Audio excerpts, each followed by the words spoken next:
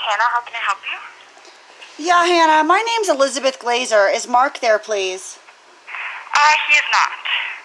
Okay, well, Mark was the one that deliberately sabotaged me on my check-in and locked the door on me and had me outside with five pieces of luggage in the blaring hot sun for two hours.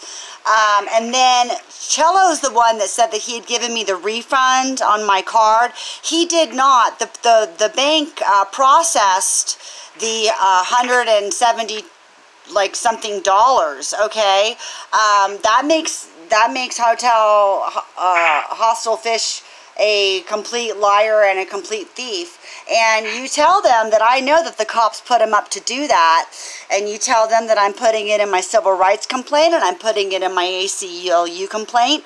And anytime they mess with my housing and anytime that they mess with any of my jobs, it's going to be signatures and it's going to be corruption probes. So people in Colorado and Denver and Boulder better back up because if they don't, everybody's going to find out every single crime that the cops and the district attorneys and the governors and the lawyers and the judges have been committing. And I'm talking kidnapping, okay? So push me again. Okay, I'll let them know.